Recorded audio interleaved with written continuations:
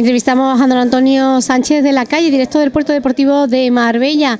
Y es que hoy ha tenido lugar la rueda de prensa del Yoga por la Paz, que se va a celebrar aquí el próximo día 22 de septiembre, este mes en el que estamos, o sea que ya la cuenta atrás, y que tiene mucho que contarnos, como no hemos llegado a tiempo, pero bueno, más vale tarde que nunca, y él siempre nos recibe con ese cariño y simpatía que le caracteriza, así que te lo agradecemos mucho que, bueno, pues haya cogido un tiempito, que a lo mejor el tura de comida y tal, para atendernos. Gracias, Antonio, en primer lugar. Gracias a vosotros, como siempre, y yo con las tardes de Elena, pues quiero tener una rueda de prensa particular, informaros del evento, pues pues a vosotros mm, con más detalle.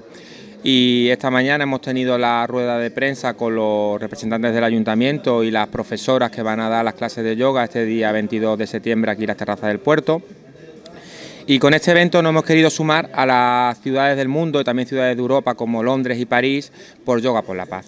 Un día por la paz en el mundo, por el fin de conflictos y tantas guerras que tenemos que están, están ocurriendo en todas las partes del mundo fecha elegida es también por algo, ¿no? No se ha elegido una fecha al azar, sino que esta fecha era importante también por Sí, esta fecha es importante porque este fin de semana, del 23 al 25, tenemos un Congreso Nacional de Yoga aquí en Marbella y van a venir maestros y van a venir entendidos de esta materia de todas las partes de España. Entonces, bueno, pues hemos querido que esta sesión de yoga sea la antesala de ese congreso que vamos a tener aquí en Marbella.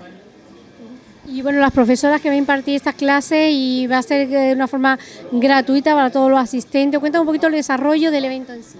Sí, eh, vamos a contar con cuatro profesoras y quiero recalcar esto porque son cuatro profesoras de aquí de Marbella, son de cuatro escuelas de aquí de Marbella, son por eso las personas que estén practicando esta disciplina pues pueden aprovechar ese día o bien para seguir practicándola en el puerto o bien para iniciarse con estas profesoras de Marbella y luego si les gusta pues seguir adelante.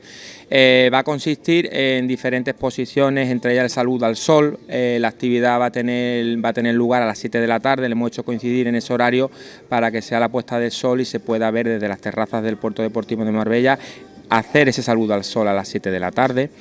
Eh, además de saludo al sol se van a hacer diferentes asanas y diferentes técnicas que la van a hacer cada una de las profesoras. Como tenemos cuatro profesoras, cada una de ellas va a hacer unas técnicas y posturas diferentes de yoga.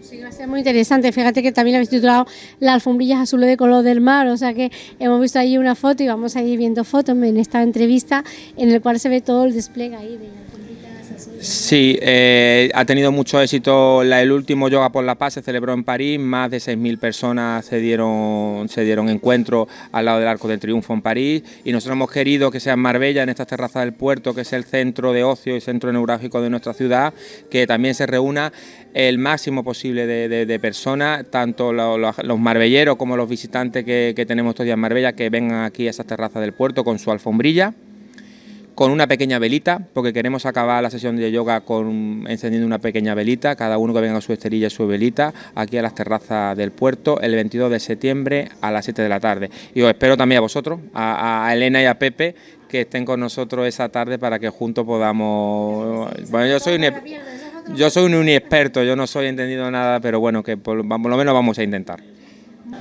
Bueno, aparte que nos has dicho que tenemos que traer una velita, eh, también qué otras cosas son los requisitos, como hay que ir vestido, aquí podemos encontrar lo que necesitamos. Bueno, hay que llevar ropa cómoda, porque el yoga es una disciplina que une cuerpo y mente y se hacen diferentes prácticas y, movimientos con el cuerpo, pues hay que una ropa cómoda. Yo llevo esta camiseta que se ha hecho, se ha diseñado específico para el evento de Yoga por la Paz Marbella y aquellos que quieran adquirir esta camiseta al día del evento, pues vamos a tener la posibilidad de comprarla aquí en el mismo puerto deportivo, va a haber un kiosco que se dedica a la venta de estas camisetas.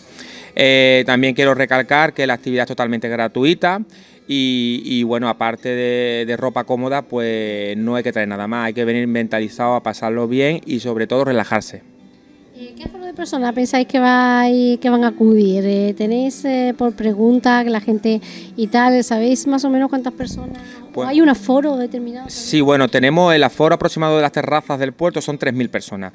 Yo con que llenemos la mitad de las terrazas del puerto me doy por vencido. Además va a ser una estampa y una imagen estupenda de todas las personas con su esterilla, con sus velitas en las terrazas del puerto, mirando al sol, además por un, por un objetivo que es muy loable, como es la paz en el mundo, yo creo que va a ser algo, algo para recordar.